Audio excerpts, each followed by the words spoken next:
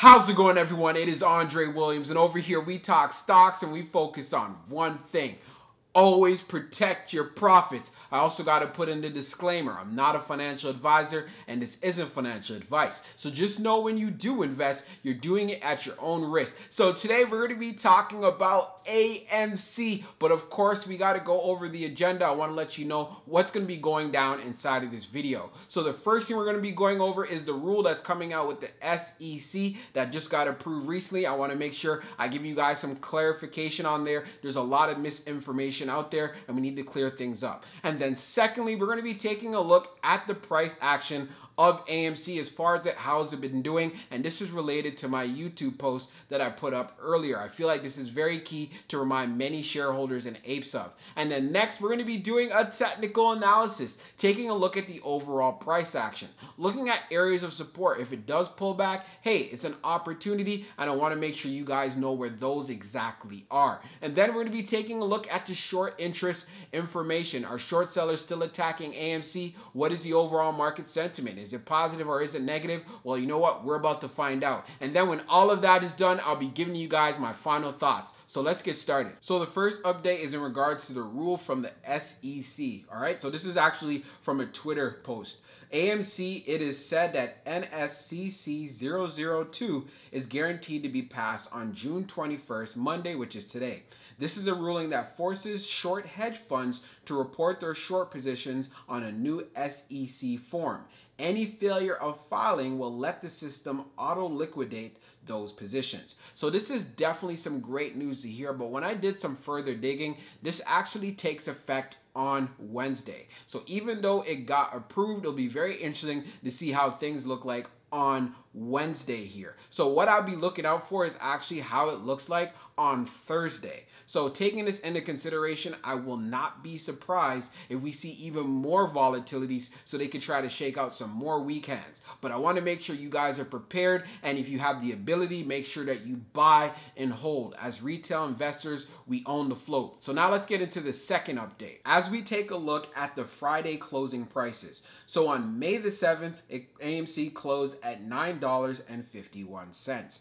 On May the 14th, AMC closed at $12.98. On May the 21st, it closed at $12.08. On May the 28th, it closed at $26.12. And on June the 4th, it closed at $47.91. And on June the 11th, it closed at $49.30. And then on June the 18th, it closed at $59. So what does this mean? We are in the right direction here. Buying and holding and being a part of this movement has been working. We want to see a free and fair market here. They're saying, well, you know what? There's no manipulation whatsoever. No, that is completely wrong here. As retail investors, we own the float, but we are seeing manipulative price action. And this is what we're fighting against. As far as for the SEC rule, we're going to be hoping, hey, is that going to be helping the situation? We're going to have to be patient and look forward to see how that turns out. But I know many people have been getting into this play for short-term gains, which at the end of the day, I really can't wrong you for that. It's your money. You do what you want to do with it. But if you end up losing out on money or the trade did not go in your particular way, it is your fault take responsibility. Don't blame and say, well, you know what, AMC stock, it's losing momentum, it's losing steam. This stock is going to go down. No, you did not do your homework and you didn't do your due diligence when getting into this play. And for all of my apes, you guys already know the key is to buy and hold. If you have the ability to do this, then you continue to do this. Make sure you have no emergent need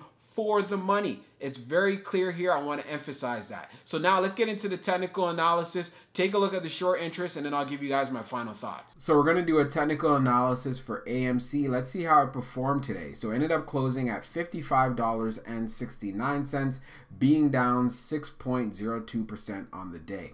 On the low, it tested $53.43 and then on the high, testing $63.01. So right away, we want to take a look at areas of support because we know AMC does pull back, but it still shows continued strength here. So as far as areas of support are concerned, we know we have support here right at this $40 level. We also have support here right around this $44 level.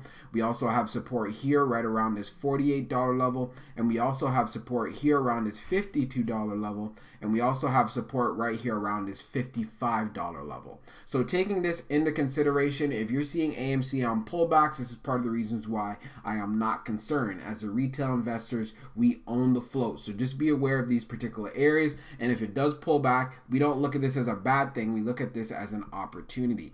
Now, if we take a look at areas of resistance here, so we definitely have an area resistance right here at this $65 level. Anytime it gets to this particular area, it gets hit with a lot of selling pressure. So this is one thing you really want to keep in mind in this particular play. If we're able to pass this $65 area, that's where we can really look forward to getting to this 68 level where there's another area of resistance. But if we can pass that, we can definitely start going to the moon after $70 and also passing the, the high here at 72.62. So just keep that in mind. So as long as AMC, which I'm going to be looking forward to, closes above $55, things can definitely look bullish going into tomorrow. So we're on Fintel. We're going to take a look at the short interest information for AMC. So you can see here it's at 21% and this is taking the close as of June the 18th. So what does this look like? Out of 243.6 million shares that were traded, 51.8 million of these shares were actually sold short. The short shares availability is at 550,000 updated one minute ago and the short borrow fee rate is at 1.37%.